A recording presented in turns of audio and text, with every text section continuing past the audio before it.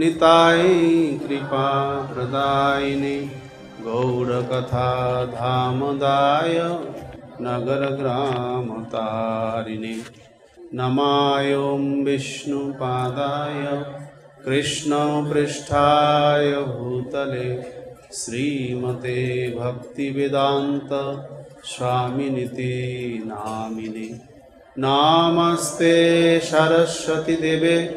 गौरवाणी प्रचारिणे निर्विशेषशून्यवादे पश्चात्यदेशतारिणि वञ्छाकल्पतरुभश्च कृपासिन्धुभयेव च पतितानां पावनेभ्यो वैष्णवेभ्यो नमो नमः जयो श्रीकृष्ण चैतन्य प्रभो नित्यानन्द श्री अद्वैत गदाधर श्रीवासदि गौरभक्तवृन्द हरे कृष्णा हरे कृष्णा कृष्ण कृष्ण हरे हरे हरे राम हरे राम राम राम हरे हरे हरे कृष्णा हरे कृष्णा कृष्ण कृष्ण हरे हरे हरे राम हरे राम राम राम हरे हरे ॐ नमो भगवते वासुदेवाय ॐ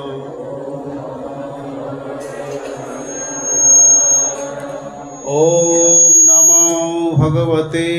वासुदेवाय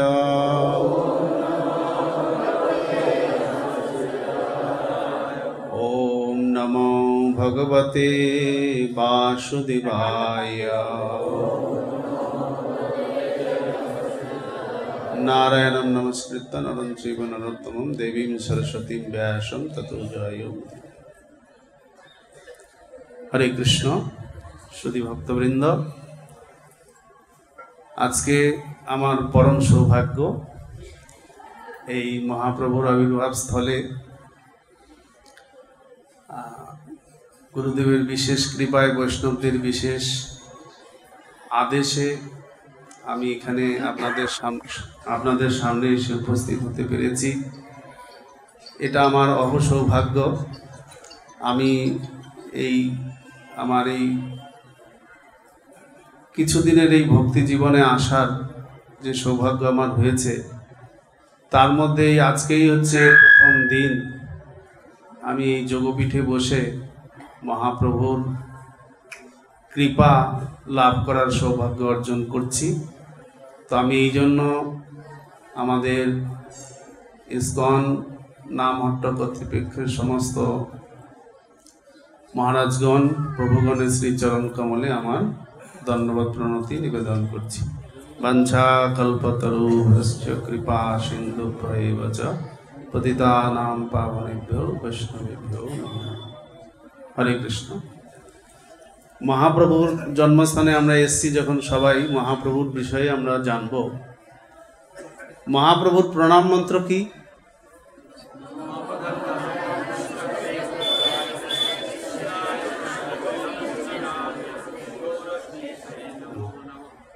তো মহাপ্রভুর প্রণাম মন্ত্র তিনি মহাবদান্য নমো মহাবদান্য বদান্য কথাটার অর্থ হচ্ছেন দানি দানি যিনি ব্যক্তি তাকে বদান্য বলা হয় যিনি দান করেন অকাতরে যিনি দান করেন তিনি বদান্য মহাবদান্য দানিদের থেকেও তিনি হচ্ছেন শ্রেষ্ঠ দানি তিনি আমাদেরকে কি দান করেছেন যেই জন্য তাকে শ্রেষ্ঠ দানই বলা হচ্ছে তো এগুলো আমরা আজকে একটু বিবেচনা করব তো তার পূর্বে শ্রীল কৃষ্ণদাস কবিরাজ গোস্বামী চৈতন্য চৈতামৃতের আদিলীলার দ্বিতীয় অধ্যায়ে মহাপ্রভুরকে প্রণাম করেছেন এবং মহাপ্রভুর কাছে কিছু কৃপা প্রার্থনা উনি করেছেন তো সেই যে বন্দনা দুটি ওনার রয়েছে সেটা আমরা আবৃত্তি করব তারপর আমাদের আলোচনায় আমরা প্রবেশ করব তো মহাপ্রভু প্রথমটাতে একটু সহজ আছে যেটা আপনারা সকলেই করতে পারবেন আর দ্বিতীয়টা একটু বড় রয়েছে যেটা আপনারা শ্রবণ করতে পারবেন তা আপনারা প্রথমে শুনুন তারপরে আপনারাও প্রার্থনাটা করবেন শ্রীচৈতন্য প্রভু বন্দে বালয়পি যদনুগ্রহাৎ তরেত গ্রাহ ব্যাপ্তম সিদ্ধান্ত সাগরম এর অনুবাদটা আমি পরে বলছি তো আপনারাও একই সঙ্গে বলবেন শ্রীচৈতন্যম প্রভুম বন্দে বালয়পি যদনুগ্রহা তরে নানা মতগ্রাহ ব্যপ্তম সিদ্ধান্ত সাগরম আমি শ্রী চৈতন্য মহাপ্রভুকে বন্দনা করি যার কৃপার প্রভাবে এমনকি অনভিজ্ঞ শিশুও বিবিধ মতবাদরূপী কুমিরে পরিপূর্ণ সিদ্ধান্ত সাগর অনায়াসে অতিক্রম করতে পারেন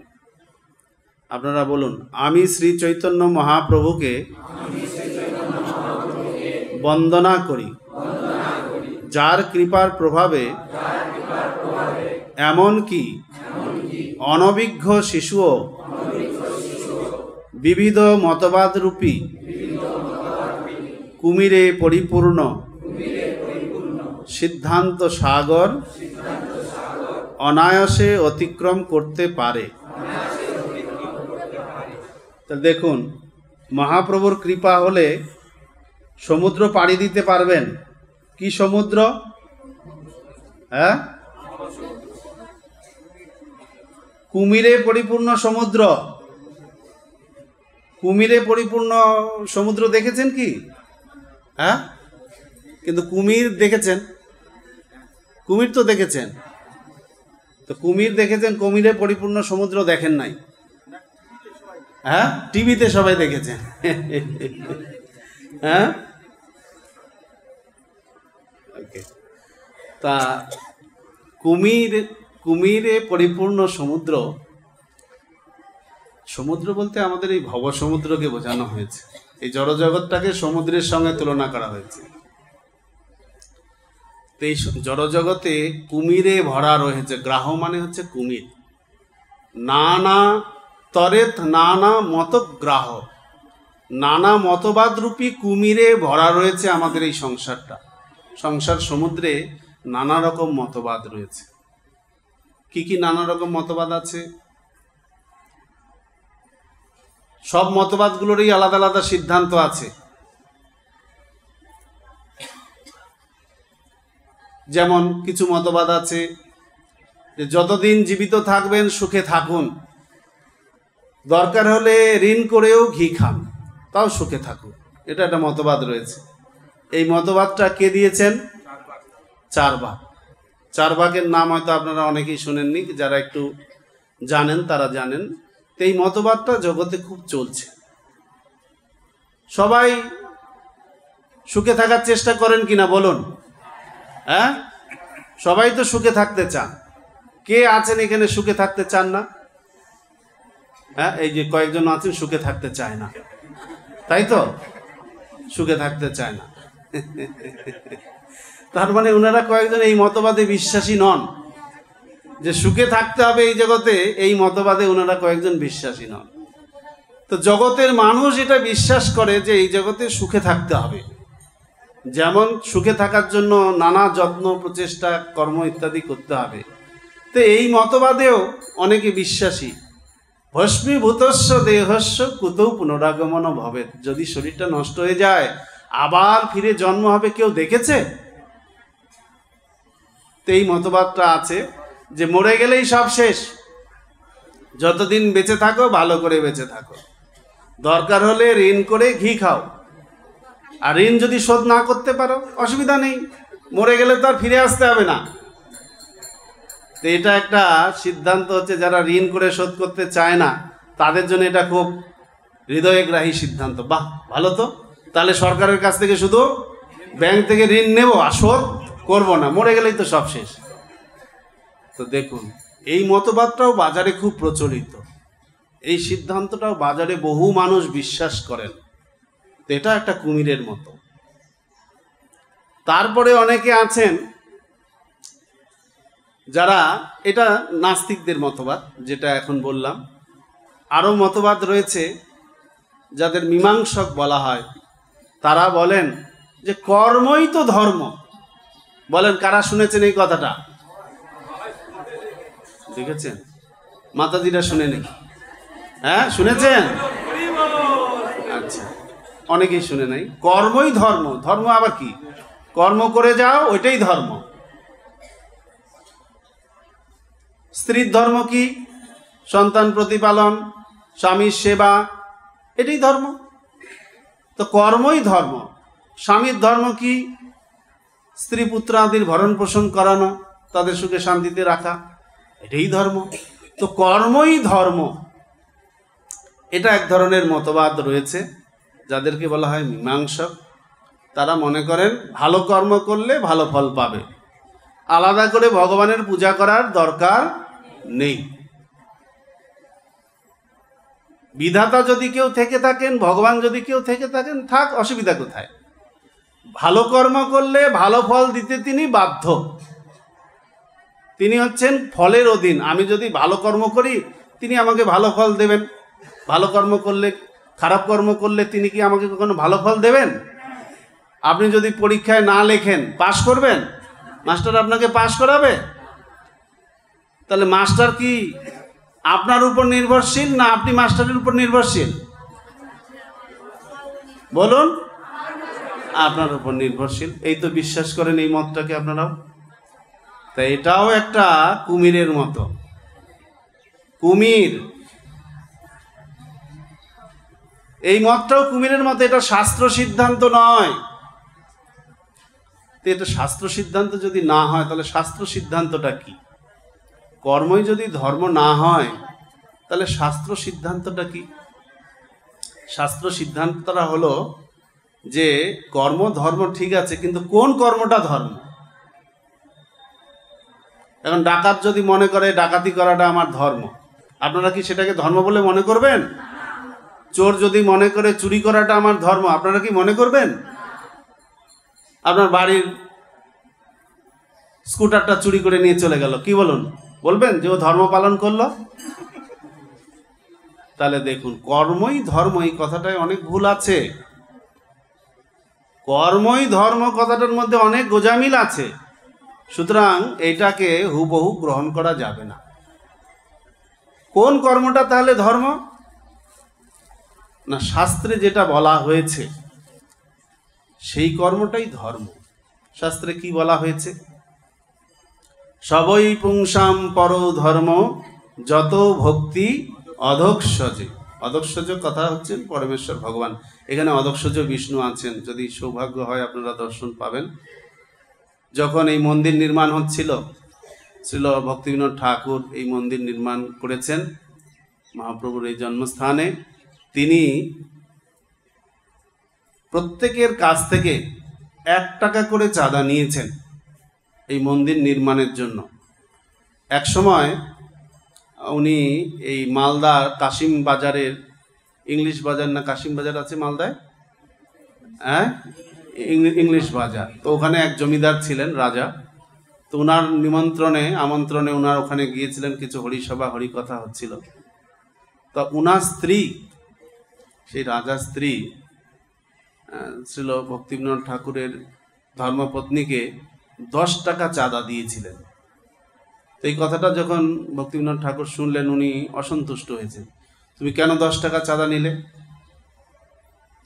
কয়জন লোক বাদ পড়ল দশ টাকা চাঁদা নেওয়ার ফলে নয়জন বাদ পড়ল তো মহাপ্রভুর সেবা থেকে নয়জন বাদ হয়ে গেল চিন্তা করতে পেরেছেন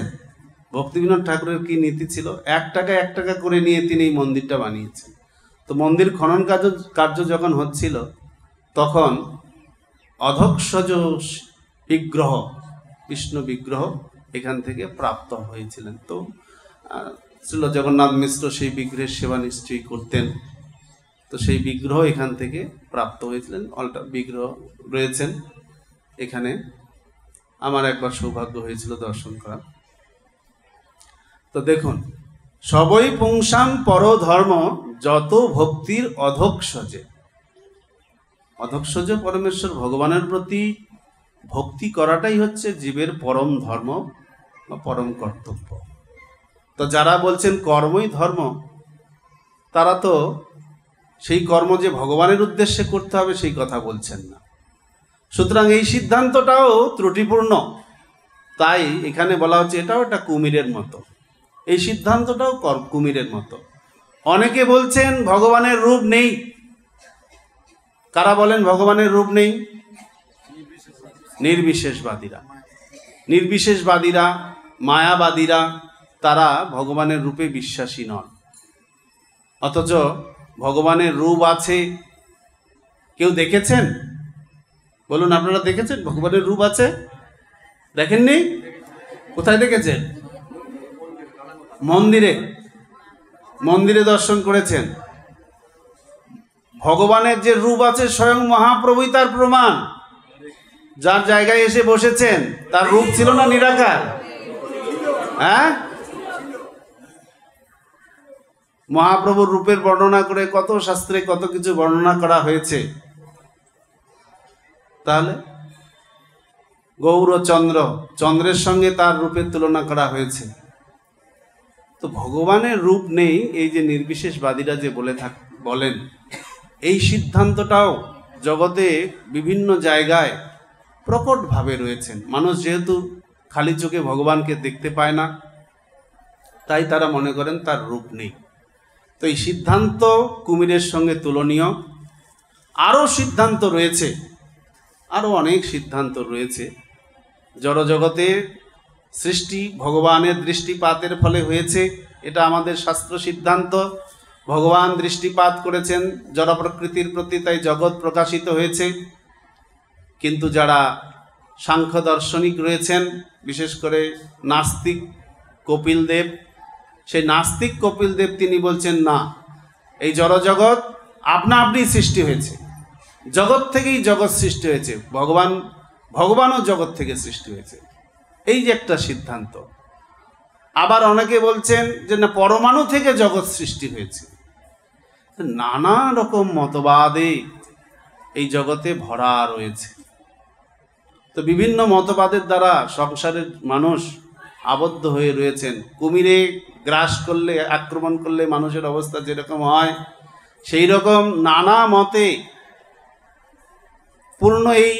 সংসার সমুদ্রে মানুষ হাবুডুবু খাচ্ছে তো যার কৃপা হলে এই নানা মত সমূহ আমরা নানা মত সমূহ সিদ্ধান্তগুলিকে অতিক্রম করে সঠিক সিদ্ধান্ত জানতে পারবো তিনি হচ্ছেন শ্রী চৈতন্য মহাপ্রভু মহাপ্রভুর কৃপা হলে বালো বালো অপিজাত অনুগ্রহ একজন শিশুও একজন শিশুও তিনি এই সমস্ত নানা মত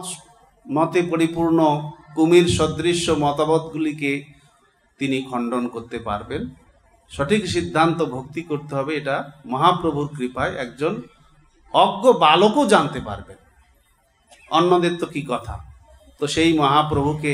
কৃষ্ণদাস কবিরাজ গোস্বামী তিনি বন্দনা করছেন প্রণাম করছেন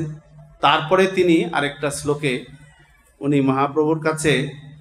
কৃপা প্রার্থনা করেছেন তো সেই শ্লোকটা আমি আপনাদের সামনে বলার চেষ্টা করছি এটা একটা শ্লোকটা একটু বড় শ্লোক কিন্তু খুব সুন্দর শ্লোক যেটা এর অনেক তাৎপর্য রয়েছে যেই সিদ্ধান্ত অনুসারে শ্রীল প্রভুপাত তিনি আমাদের এই আন্তর্জাতিক কৃষ্ণ ভাবনামৃত সংঘ তিনি প্রতিষ্ঠা করেছেন এই সিদ্ধান্তের ভিত্তিতেই তাই এই শ্লোকটি এটা আমাদের হয়েই আমাদের হয়েই কৃষ্ণদাস কবিরাজ গোস্বামী তিনি মহাপ্রভুর কাছে এই কৃপা প্রার্থনা করেছেন কি বলছেন কৃষ্ণ কীর্তন গান নর্তন কলা পথ জনি ভ্রাজিতা সদ্ভক্তা বলি হংস চক্র মধুপ श्रेणीविहारास्पदम्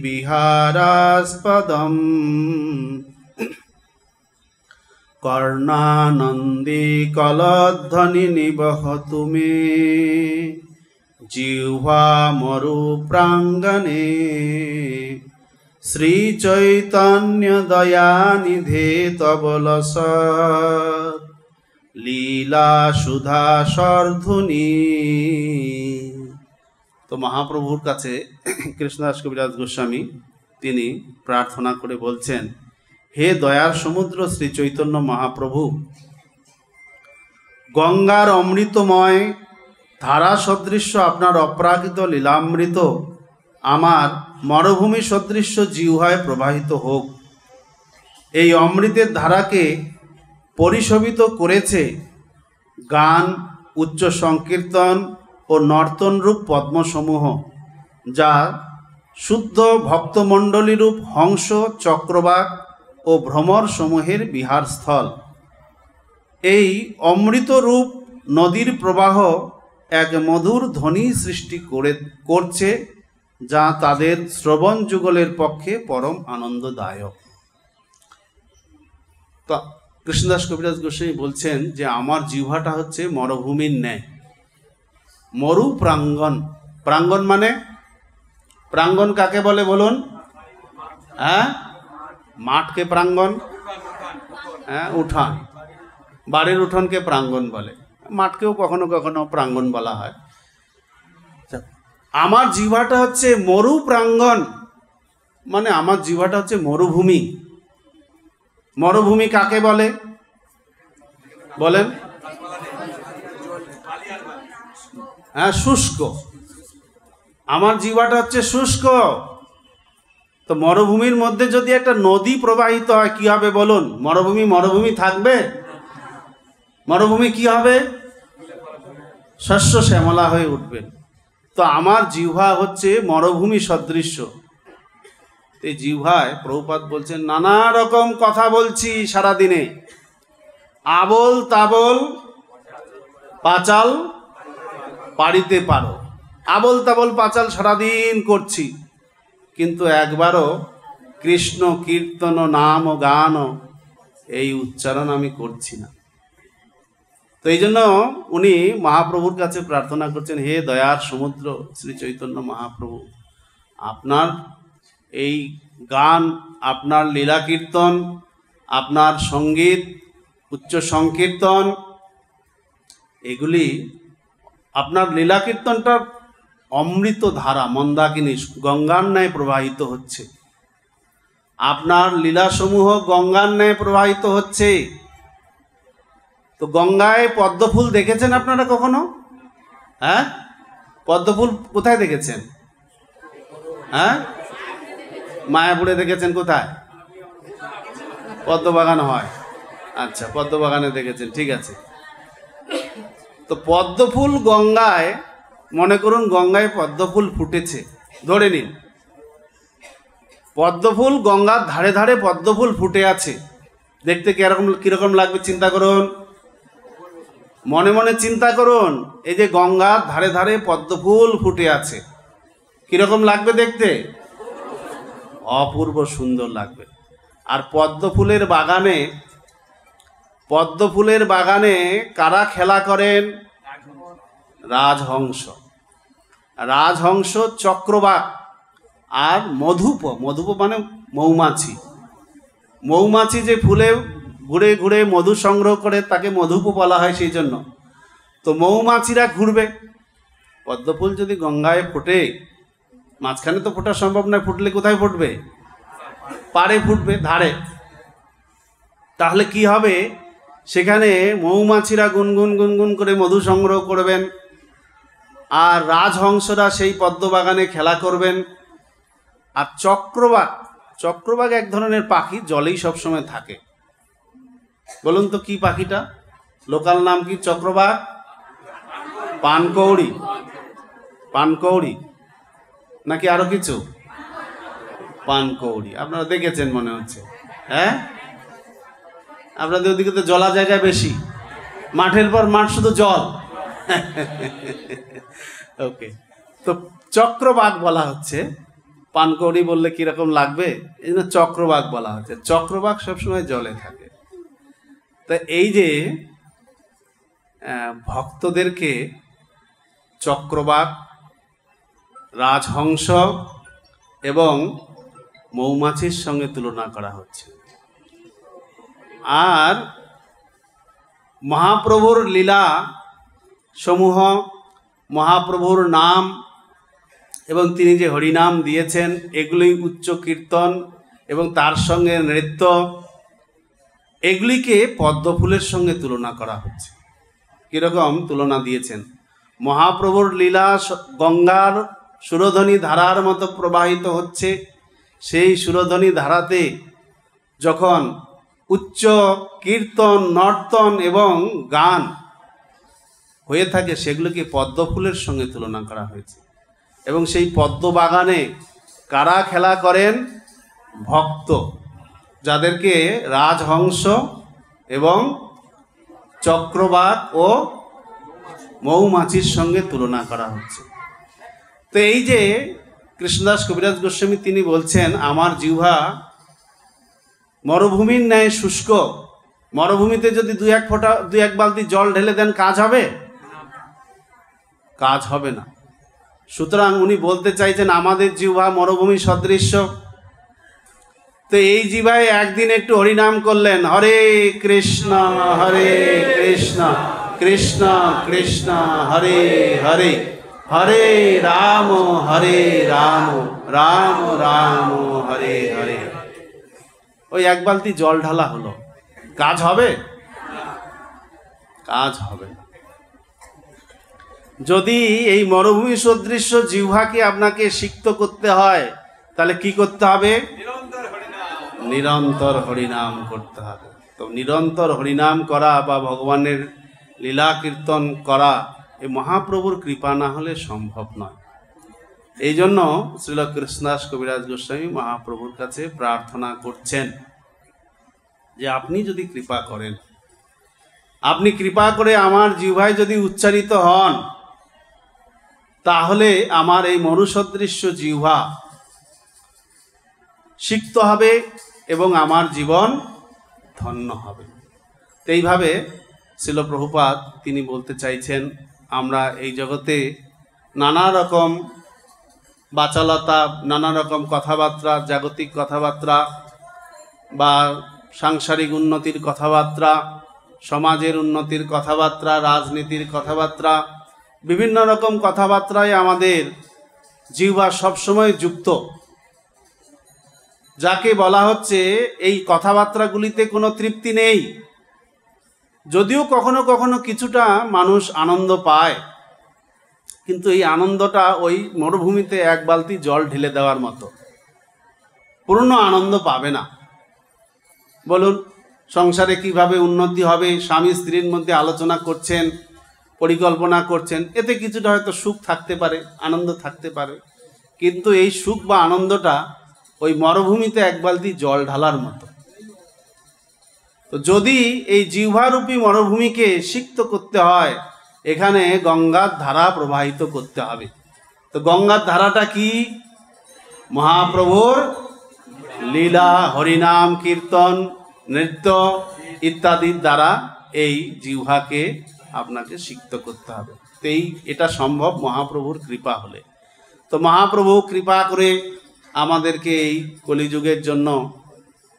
এই সমস্ত ঔষধ মহা ঔষধ দিয়ে গেছেন এনেছি ঔষধি মায়া নাসি বারো লাগি তারপরে হরিনাম মহামন্ত্র লহ তুমি মাগি মেগে নিতে বলেছেন তিনি দাঁড়ে দাঁড়ে এসে আমাদেরকে হরিনাম দিচ্ছেন শুধু মেঘে চেয়ে নিতে হবে চাইতে হবে যে আমাকে আমিও যাতে হরিনাম করতে পারি এই জন্য কৃষ্ণদাস কবিরাজ গোস্বামী এখানে শিক্ষা দিচ্ছেন মহাপ্রভুর কাছে চাইতে হবে যে মহাপ্রভু আমি যেন আপনার দেওয়া নাম উচ্চারণ করতে পারি আপনার লীলা কীর্তন যাতে করতে পারি কেন করতে হবে কি কারণে করতে হবে না আমার জিহ্বাটা হচ্ছে মরুভূমির ন্যায় শুষ্ক জিহ্বা যখন কারো শুকিয়ে যায় বলুন শান্তি পাবেন কখনো জিহ্বা শুকায় বলুন হ্যাঁ কখনো কি এরকম পরিস্থিতি আপনাদের জীবনে এসেছে জিহ্বাটা শুকিয়ে গেছে হ্যাঁ কখন জল তেষ্টা পেলে যেদিন খুব উপবাস থাকেন নির্জলা থাকেন ভীম একাদশী হ্যাঁ জিবাটা শুধু শুকাতে থাকে নাকি শুকায় না তাহলে নিশ্চয়ই কিছু কিছু খান আপনি তো দেখুন জিহ্বা শুকিয়ে যাওয়া জিহ্বায় রস রয়েছে নানা রকমের রস রয়েছে লালা রয়েছে সেগুলো যদি শুকিয়ে যায় বুঝতে হবে মানে হয় তপস্যা করছেন না হলে আপনার রোগ হয়েছে দুটোর একটা হয় আপনি তপস্যা করছেন নির্জলা গলা শুকিয়ে যাচ্ছে জিবা শুকিয়ে যাচ্ছে আর না হলে আপনার রোগ হয়েছে ব্যাধি হয়েছে তো ব্যাধি হয়েছে এটা বুঝতে হবে তো কৃষ্ণদাস কবিরাজ গোস্বামী তিনি মহাপ্রভুর কাছে বলছেন আমি এ প্রভু আপনার আশ্রয়ে এসছি আমি শুনেছি আপনি হচ্ছেন একজন মহাবৈদ্য আপনি একজন মহাবৈদ্য এবং বৈদ্য মানে ডাক্তার এবং আপনি চিকিৎসা করেন বিনামূল্যে বলুন বিনামূল্যের ডাক্তার যদি হয় রোগীর ভিড় হবে কি না আপনারা যাবেন কি না আর ডাক্তার যদি নাম করা হয় নাকি আপনার প্রেস্টিজে লাগবে বিনামূল্যের ওষুধের ডাক্তারের কাছে যাব বলুন যাবেন তো কৃষ্ণাস কবিরাজ গোস্বামী তিনি বলছেন যে আমি রোগে পড়ে গেছি কি রোগে পড়েছি হ্যাঁ ভবরোগ ভবরোগটা কি ডায়াবেটিস হ্যাঁ জন্ডিস ক্যান্সার আলসার নাকি সংসার রোগ আমরা ভবরোগ ভবরোগ শুনি ওই রকমের কোনো রোগ ডাক্তারি খাতায় দেখা যায় না ওই রকম কোনো রোগ ডাক্তারিতে নেই যেমন আপনি যদি বলেন আমার ডায়াবেটিস হয়েছে হোমিওপ্যাথি ডাক্তারকে জিজ্ঞাসা করেন ওরা বলবে না এইরকম কোনো রোগ আমাদের আমাদের এই হোমিওপ্যাথি চিকিৎসা শাস্ত্রে এইরকম ডাক্তার মানে ডায়াবেটিস প্রেশার এই সমস্ত কিছু নেই আমরা অন্যরকম চিকিৎসা করি আপনার কি কি হয়েছে আপনাকে জিজ্ঞাসা করছি বলুন নুন নুন ঝাল মিষ্টি কোনটা ভালো লাগে শীত ভালো লাগে না গরম ভালো লাগে এরকম ওনারা সব জিজ্ঞাসা করবেন ওনারা ব্লাড টেস্টও আপনার করবে না আর অন্য কোনো উপশম বিচার করে ওষুধও দেবে না ওনারা আলাদা রকম বিচার করবেন তো ভবরোগের হিসাবটা চিকিৎসা যেটা বর্তমান চিকিৎসা শাস্ত্র যে রয়েছে আয়ুর্বেদিক বলুন হোমিওপ্যাথি বলুন আর অ্যালোপ্যাথি বলুন এগুলোতে বলা নাই যে ভবরোগটা কি তা কৃষ্ণদাস কবিরাজ গোস্বামী আমাদেরকে উল্লেখ করে বলছেন যে আমাদের রোগটা কী তো উনি প্রার্থনা করছেন মহাপ্রভুর কাছে যে বৈগুণ্য কীট কলিত পৈশূন্য ব্রণ পীড়িত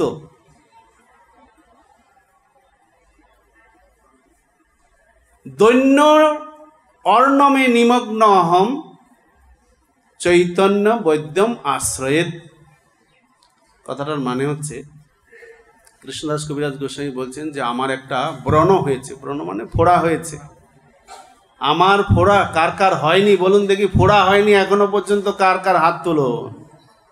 হ্যাঁ হয়নি একজনের এত বয়স হয়ে গেল আপনার এখনো ফোড়া হয়নি বাহ হ্যাঁ খুব কম লোক আছে ফোড়া হয়নি তো আমার এটা ফোড়া হয়েছে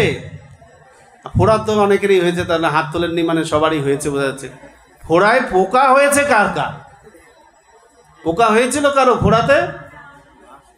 সেরকম সেরকম ডেঞ্জারাস ফোড়া আপনাদের হয়নি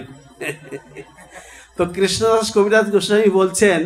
যে আমার একটা ফোড়া হয়েছে বিষ ফোড়া যে বিষ ফোড়ার দ্বারায় আমি পীড়িত হয়েছি তারপরে সেই বিষ ফোড়ার মধ্যে আমার পোকা হয়ে গেছে পোকা আমাকে কিটকিটকিট করে সেই বিস্ফোরাতে কামড়াচ্ছে নিরন্তর কি সেই বিস্ফোরা এই পোকাগুলি কি সেই পোকাগুলিকে উনি বলছেন কাম ক্রোধ লোভ মোহ মদ মাশ্চর্য এই পোকাগুলো আমার সেই ফোড়ার মধ্যে হয়েছে আমার যে ব্রণ ফোড়াটা হয়েছে তার মধ্যে কাম ক্রোধ লোভ মোহ মদ মাসের যেই পোকাগুলো আমার হয়েছে আর তার দ্বারা আমি অত্যন্ত কষ্ট পাচ্ছি দৈন্য আমি গরিব দৈন্য মানে গরিব দৈন্য কথাটার আরেকটা অর্থ হচ্ছে বিনীত এই অর্থে এখানে বলা হয়নি আমি দৈন্য মানে আমার গরিব সহায় সম্বল আমার কিছু নেই এখন এই ধরনের কোনো ব্যক্তি যদি ফোড়া হয় আর ফোড়ার মধ্যে পোকা হয়ে যায় আর তার যদি টাকা পয়সা না থাকে বলুন কি অবস্থা হবে তার হ্যাঁ খুবই কষ্ট হবে আর ওই অবস্থায় যদি উনি শুনেন যে একজন ডাক্তার আছেন যিনি ফ্রিতে ওষুধ দেন তাই বলুন উনি কি করবেন ছুটে যাবেন কি না অবশ্যই ছুটে যাবেন তো সেই ডাক্তার হচ্ছেন শ্রী চৈতন্য মহাপ্রভু যিনি আমাদেরকে ফ্রি ওষুধ দিচ্ছেন ফ্রি ওষুধ দিচ্ছেন এই জন্যই আমরা তার চরণে এসেছি চৈতন্যম আশ্রয়ে চৈতন্য বৈদ্যম আশ্রয়ে সেই বৈদ্য চৈতন্যের আশ্রয়ে আমরা এসেছি ফ্রি ওষুধ পাওয়ার জন্য সেই ফ্রি ওষুধটা কি হরিনা হরে কৃষ্ণ হরে কৃষ্ণ কৃষ্ণ কৃষ্ণ হরে হরে হরে রাম হরে রাম রাম রাম হরে এই ওষুধটা নিয়ে যে তিনি এসছেন উনি যে সেই ডাক্তার এবং উনি বাড়ি বাড়ি গিয়ে সেই ওষুধ দিচ্ছেন উনার অনেক এজেন্ট রাখা আছে ভালো কোম্পানি যদি হয় অনেক এজেন্ট রাখে না ওটাকে রিপ্রেজেন্টেটিভ বলে ভালো ভাষায় রিপ্রেজেন্টেটিভ এজেন্ট কথাটা শুনলে আবার একটু কীরকম লাগে হ্যাঁ এজেন্ট বললো আমাকে একটু ছোঁয়া ছোঁয়া লাগে কিন্তু যদি রিপ্রেজেন্টেটিভ বলা হয় তাহলে মনে হয় একটু সম্মানিত সম্মানিত লাগে মেডিকেল রিপ্রেজেন্টেটিভ অনেক রয়েছেন উনার মহাপ্রভু সেই ওষুধ নিয়ে এসছেন ওষুধ বিতরণের অনেক রিপ্রেজেন্টেটিভ রয়েছেন যেই রিপ্রেজেন্টেটিভদের মাধ্যমে তিনি প্রতি দাঁড়ে দাঁড়ে গিয়ে এই ওষুধ বিতরণ করছেন ফ্রিতে তো মহাপ্রভু যে ওষুধটা নিয়ে এসছেন আমরা কি করে বুঝবো তা বোঝা যাবে যখন মহাপ্রভুর জন্ম হলো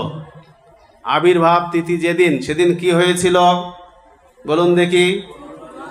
চন্দ্রগ্রহণ হয়েছিল হ্যাঁ আর তার ফলে কি হয়েছিল চন্দ্রগ্রহণ হলে লোকে সকলে গঙ্গায় নেমে গিয়েছিলেন গ্রহণ হলে অপবিত্র ধরা হয় গ্রহণটা অপবিত্র তো অপবিত্র দিনে মহাপ্রভু আবির্ভূত হলেন এটা কীরকম মনে একটু সংশয় আসতে পারে যে অপবিত্র দিনে মহাপ্রভু আবির্ভূত হলেন না নিষ্কলঙ্ক গৌরচন্দ্র দিলা দর্শন সকলঙ্ক পূর্ণচন্দ্রে কিবা প্রয়োজন এই যে চাঁদের মধ্যে কলঙ্ক রয়েছে জানেন তো চাঁদে কলঙ্ক আছে দেখতে পান পূর্ণিমার চাঁদ দেখবেন মাঝে মধ্যে একটু কালো কালো দাগ আছে ওটাকে চাঁদের কলঙ্ক বলা হয় তো নিষ্কলঙ্ক গৌরচন্দ্র আবির্ভূত হচ্ছেন তাই সকলঙ্ক কলঙ্কযুক্ত চাঁদ মনে করছেন আমার মুখটা রাখা ঠিক হবে না তাই উনি মুখ লুকিয়েছেন এই জন্য গ্রহণ হয়েছে আর এই নবদ্বীপের মানুষ তারা এই মহাপ্রভু আবির্ভূত হচ্ছেন এটা বুঝতে পারেননি তারা সকলেই বিভিন্ন রকম মতবাদের দ্বারা গ্রস্ত ছিলেন তো তারা কি করলেন এই গ্রহণে সবাই গঙ্গায় নেমে গেলেন গঙ্গায় নেমে কি করতে লাগলেন হরে কৃষ্ণ হরে কৃষ্ণ কৃষ্ণ কৃষ্ণ হরে হরে হরে রাম হরে রাম রাম রাম হরে হরে তো আবির্ভাব দিনেই তিনি হরিনাম সবার মুখে দিয়ে দিলেন উনি এদিকে আবির্ভূত হচ্ছেন আর ওইদিকে মানুষ সব গঙ্গায় নেমে হরিনাম করছে তাই ইনি যে হরিনামের বৈধ হরিনামরূপী ওষুধ যে উনি নিয়ে এসছেন এটাই তার প্রমাণ তারও পরবর্তীতে যখন মহাপ্রভু কান্না করতেন বাচ্চারা সাধারণত খুব কান্না করে একদম ছোট থাকলে তো আরও কান্না করে তো কান্না করলে কি হয় কি করেন আপনার বাচ্চা কান্না করলে কি করেন মায়েরা হ্যাঁ খাবার দিয়ে দেন বাচ্চা অবস্থাটা এরকম কিসের জন্য যে কান্না হয় কেউ বুঝতে পারে না পেট ব্যথায় কান্না করছে না মশা কামড়িয়েছে সেই জন্য কামড়া কান্না করছে নাকি ছাড় পোকা কামড়িয়েছে সেই জন্য কান্না করছে কেউ বুঝতে পারে না নাকি চুলকাচ্ছে পিঠ সেই জন্য কামড়া কান্না করছে বলতেও পারে না আর কেউ বুঝতেও পারে না কি করা হয় কোলে নিয়ে স্তন পান করানো হয় তাই তো করেন আপনারা নাকি বাচ্চা কান্না করলে কি করেন স্তন পান করান তো মহাপ্রভু এরকম ছোটবেলায় একেবারে কাঁদুনি ছিলেন শুধু কান্না করতেন তা যখন কান্না করতেন তখন হাতে তালি দিয়ে যখন মহিলারা যারা দর্শন করতে আসতেন তারা যখন হাতে তালি দিয়ে হরিনাম করতেন সঙ্গে সঙ্গে মহাপ্রভু খিলখিল করে হাসতেন তাহলে মহাপ্রভু যে ওষুধ নিয়ে এসছে তার প্রমাণ পেলেন তো তা উনি আবির্ভাব সময় থেকেই হরিনাম জগতে নিয়ে এসছেন আর যখনই কান্না করতেন হরিনাম না শুনলে তিনি থামতেন না তো যদিও মহাপ্রভু স্বয়ং ভগবান কেউই বুঝতে পারেননি সেই সময় সবাই তার রূপে আকৃষ্ট হয়ে দর্শন করার জন্য আসতেন যখন কান্না করতেন অনেক রকম হাতে খেলনা দেওয়ার চেষ্টা করতেন নাড়ু দেওয়ার চেষ্টা করতেন খই দেওয়ার চেষ্টা করতেন কিন্তু কিছুতেই কন্যা তাদের তার থামতো না যতক্ষণ পর্যন্ত না তারা হরিনাম করতেন হরিনাম করতে করতে হরিনাম থামিয়ে দিলে মহাপ্রভু কি করতেন আবার কান্না শুরু করে দিতেন তাহলে দেখুন মহাপ্রভু যে হরিনাম রূপী মহাঔষধ নিয়ে এসছেন জগতে একটা প্রবাদ রয়েছে যে যে গাছের ফল হবে বা ফুল হবে সেটা চেনা যায় কোথা থেকে যখন দুটো পাতা বেরোয় দুটো পাতা যখন বেরোবে তখনই বোঝা যাবে যে এই গাছের ফল ফুল হবে কি না তো সবাই অবশ্য বুঝতে পারবে না যারা মানে অভিজ্ঞ ব্যক্তি তারাই বুঝতে পারবে যে কোনো একটা গাছ চারা বেরিয়েছে ওই গাছটা কীরকম হবে ফল ফুল হবে কি না ওই দেখেই বুঝে যাবে দুটো পাতা যখন বেরোয় তখনই বুঝে যাবে তো মহাপ্রভু যখন শৈশব অবস্থায় এখানে ছিলেন তখন থেকেই হরিনাম তিনি করাতেন সবাইকে আর তিনি যে সারা বিশ্বে হরিনামের প্লাবন নিয়ে আসবেন ওই ছোটোবেলা থেকেই বোঝা যাচ্ছিল তো মহাপ্রভু বহুলীলা করেছেন যখন শুয়ে থাকতেন ঘরের ভিতরে শুয়ে রাখা হতো শিশুকে জগন্নাথ মিশ্র সচিমাতা বাইরে বসে কোনো কথাবার্তা আলোচনা করতেন তখন তারা দেখতেন যে ভিতরে যেন ছোট পায়ে নুপুর দিয়ে বাচ্চা হাঁটলে যেরকম কি শব্দ হয় কিরম শব্দ হয় ঝুম ঝুম ঝুম ঝুম বাচ্চা যেরকম হাঁটে তো এই রকম শব্দ হতো এই রকম শব্দ হতো তখন সচিমাতা এবং জগন্নাথ মিশ্র ভাবতেন কে হাঁটছে ঘরের ভিতরে আমাদের শিশু নিমাই রয়েছে আর তো কেউ নেই ঘরের ভিতরে কে হাঁটছে তারা কি ভাবতেন নিশ্চয়ই যে শালগ্রাম শিলা দামোদর রয়েছে উনি হয়তো হাঁটাহাঁটি করছেন তা আমাদেরকে পায়েস রান্না করে ভোগ দিতে হবে তো সচিদেবী তুমি কালকে পায়েস রান্না করবে তো এইরকমভাবে মহাপ্রভু বহুবিধ লীলা করেছেন এক সময় উনি উঠানে হামাগুড়ি দিচ্ছিলেন তখন হামাগুড়ি দেন হাঁটতে তখনও শেখেননি তা হামাগুড়ি দিয়েই উঠানে ঘোরাঘুরি করছেন তো মহাপ্রভু স্বয়ং ভগবান অনন্তদেব তার নিত্য সেবক ছয়ভাবে অনন্তদেব ভগবানের সেবা করছেন বলরাম ছয়ভাবে সেবা করছেন পাদুকা চামর বস বস্ত্র আসন শয্যা ছত্র ইত্যাদি ছয় রকমভাবে তিনি ভগবানের সেবায় যুক্ত থাকেন তো অনন্তদেব সাপ একটা সর্প এসে উঠানে এসে গেছে তো উঠান সর্প যখন মহাপ্রভুর সামনে দিয়ে যাচ্ছেন মহাপ্রভু তাড়াতাড়ি গিয়ে হামাগুড়ি দিয়ে গিয়ে লেজটা ধরে নিয়েছেন আর যারা দেখেছেন সবাই হায় হায় করছে হায় হায় হায় হায় বিষধর সর্প কী হবে কি হবে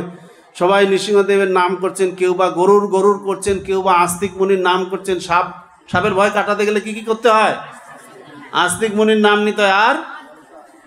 গরুর গরুর করতে হয় তো এরকম সবাই বাড়িতে যারা ছিলেন মাতা থেকে শুরু করে আর যারা ছিলেন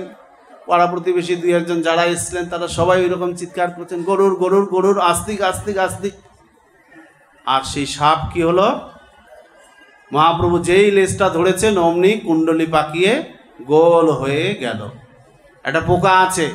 টাচ করলে কি হয় গোল হয়ে যায় কুই পোকা কেন্ন এই তো সবাই জানেন তো সেই সাপ কেন্ন হয়ে গেল মানে গোল হয়ে গেল আর মহাপ্রভু কি করলেন তার উপরে শুয়ে পড়লেন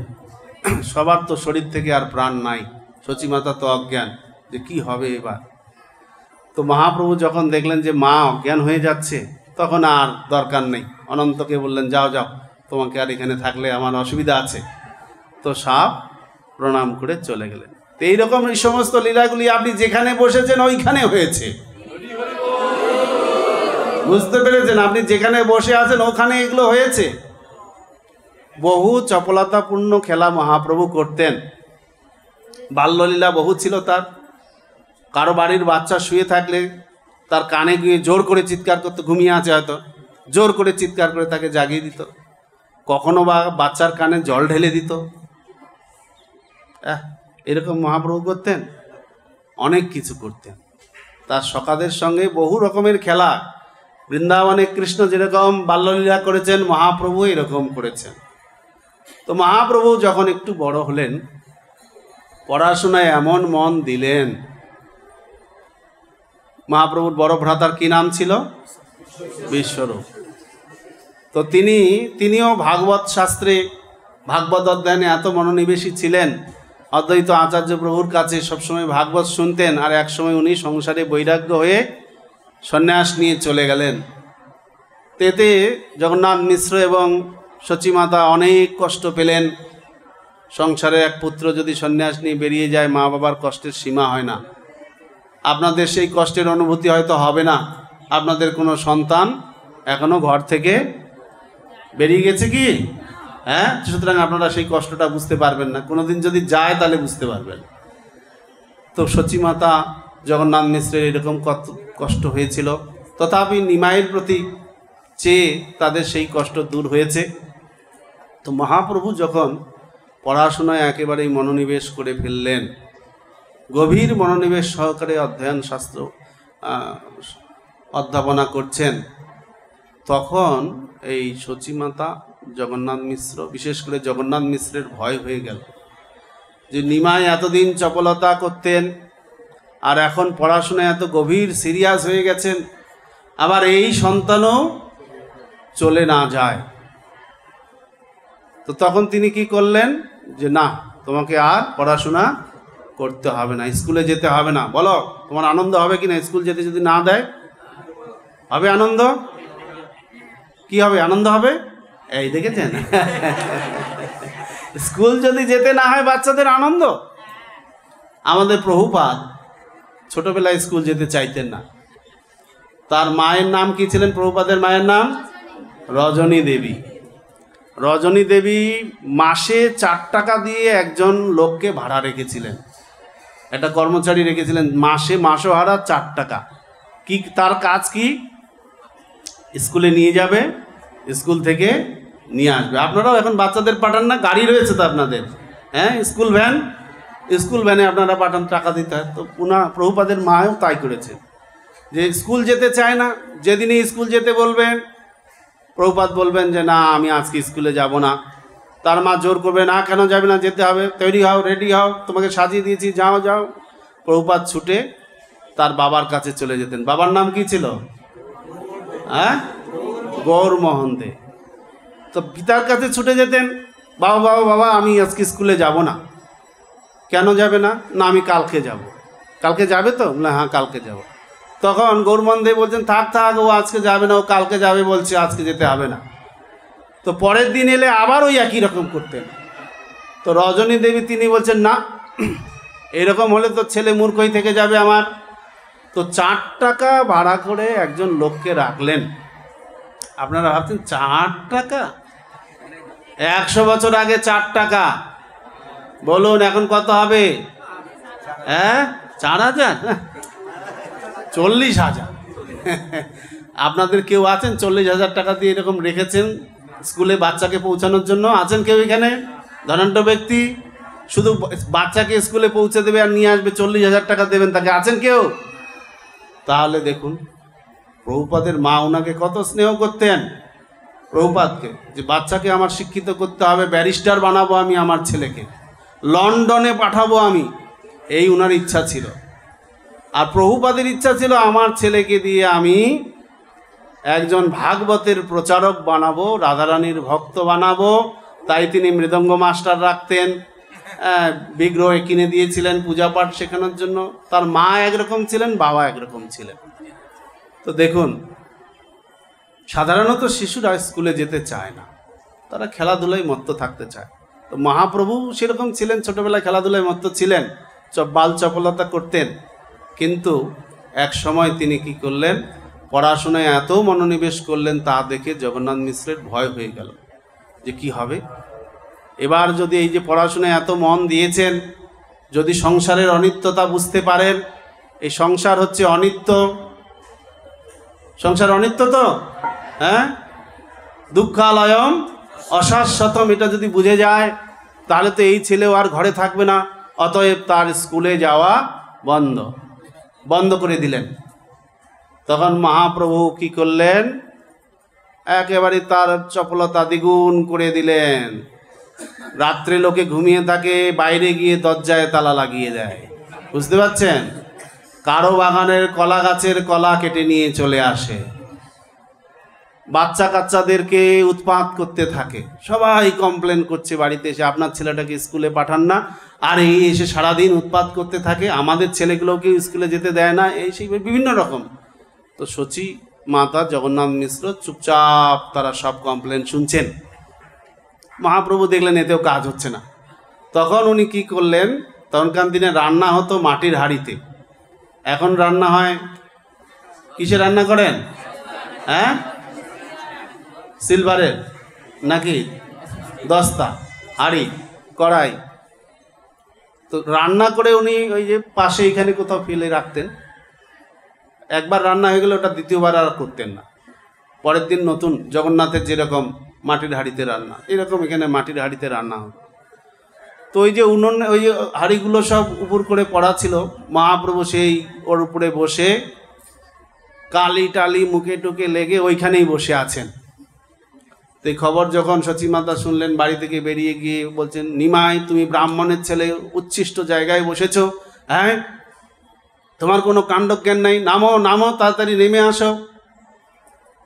তো নিমাই বলছেন আমি কি করে বুঝবো কোনটা উচ্ছিষ্ট কোনটা শুদ্ধ আমি কি করে বুঝবো তোমরা কি আমাকে পড়াশোনা শিখিয়েছ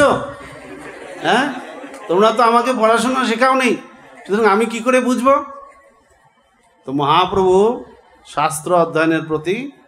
বা পড়াশোনার প্রতি কত আগ্রহ ছিলেন তো তারপরে এইটা দেখে পাড়া প্রতিবেশী লোকজন বলে আরে আমাদের ছেলেগুলো স্কুলে যেতে চায় না আর আপনাদের সন্তান স্কুলে যেতে চাইছে আপনারা কেন পড়াচ্ছেন না তো জগন্নাথ মিশ্রকে বোঝালেন যে দেখুন মিশ্রবর মানুষের কার ভাগ্যে কি আছে সেটা কি কেউ নির্ধারণ করতে পারে বলুন সুতরাং সেটা চিন্তা করার দরকার নেই যার ভাগ্যে যেটা আছে সেটা হবে আপনার কর্তব্য কেন আপনি করবেন না ছেলেটাকে কি মূর্খ করে রাখবেন মূর্খ হয়ে থাকলে ভবিষ্যতে তো বিয়েও হবে না বলুন বিয়ে হবে এই ইয়াং ছেলে এখানে অনেকেই আছেন বোধ নাকি বিয়ে করে কত ঝামেলা বলুন এটা চাকরি না পেলে কেউ মেয়ে দিতে চায় না আপনারা দেবেন মেয়েকে যে ছেলে চাকরি নেই বিয়ে দেবেন তাহলে দেখুন কন্যাই পাবে না মূর্খ করে রাখছেন আপনি তো অনেক বুঝিয়ে টুঝিয়ে মহাপ্রভুকে আবার স্কুলে ভর্তি করলেন তো তার আগে এখানে একটা শিক্ষণীয় বিষয় মহাপ্রভুর লীলা থেকেই শিক্ষণীয় বিষয় আছে সচিমাতাকে উনি জ্ঞান প্রদান করেছিলেন মহাপ্রভু যে হাড়ির উপরে বসেই উচ্ছিষ্ট হাড়ির উপরে বসেই উনি জ্ঞান প্রদান করেছেন যেমন ঠিক কপিল দেব তার মাতা দেবহূতিকে জ্ঞান প্রদান করেছিলেন ভগবানের অবতার কপিল দেব গঙ্গাসাগরে যিনি অবস্থান করছেন আপনাদেরই তো এরিয়া নাকি গঙ্গাসাগর তাহলে তো উনি তার মাকে জ্ঞান দিয়েছিলেন তো মহাপ্রভু সেই কপিলভাবে মাতাকে উপদেশ দিতে থাকলেন যে ভগবান যেখানে অবস্থান করেন সেই জায়গাটা সূচি আর ভগবান যেইখানে নেই সেই জায়গাটা হচ্ছে অসূচি তো এই জগতে যদি আমরা ভগবানের নাম নিয়ে থাকি ভগবানকে আশ্রয় করে থাকি তাহলে সেই জায়গাটা হচ্ছে সূচি আর যদি তা না করি তাহলে সেই জায়গাটা অসুচি এই জন্য ছিল ভক্তিবিনোদ ঠাকুর বললেন কৃষ্ণের সংসার করো ছাড়ি অনাচার তারপরে জীবে দয়া কৃষ্ণ নাম সর্বধর্মসার আপনি যদি হরিনাম না করছেন কৃষ্ণকে নিয়ে সংসার না করছেন আপনি অসুচি অসুচি অবস্থায় রয়েছেন তো সূচি হতে হলে কি করতে হবে কৃষ্ণের সংসার করতে হবে হরে কৃষ্ণ হরে কৃষ্ণ কৃষ্ণ কৃষ্ণ হরে হরে হরে রাম হরে রাম রাম রাম হরে হরে শুধু কৃষ্ণ নাম করে হলেই হবে না জীবে দয়া করতে হবে জীবে দয়া করবেন কি করে বলুন কি করে দয়া করবেন একটা গাছ পাকা কাঁঠাল দিয়ে দিলে দয়া হবে তাহলে হ্যাঁ জীবে দয়া অন্য জীবকে কি করে দয়া করবেন হরিনাম দিয়ে হরিপ্রসাদ বিতরণ করে কৃষ্ণ কথা বিতরণ করে জীবে দয়া করার কথা মহাপ্রভু বলছেন ভারত ভূমিতে মনুষ্য জন্ম হইল যার জন্ম সার্থক করি করো পর উপকার এই পর উপকার করতে বলছেন মহাপ্রভু কি করে আমরা পরোপকার করতে পারি পরোপকার একমাত্র হরিনাম বিতরণ করার মাধ্যমেই করতে পারি কৃষ্ণ ভাবনামৃত প্রচার করার মাধ্যমেই এই পর উপকার করতে পারি তো এই শিক্ষাই মহাপ্রভু আমাদেরকে দিয়েছেন ধন্যবাদ সকলকে হরে কৃষ্ণ হরে কৃষ্ণ কৃষ্ণ কৃষ্ণ হরে হরে हरे राम हरे राम राम राम हरे हरे धन्यवाद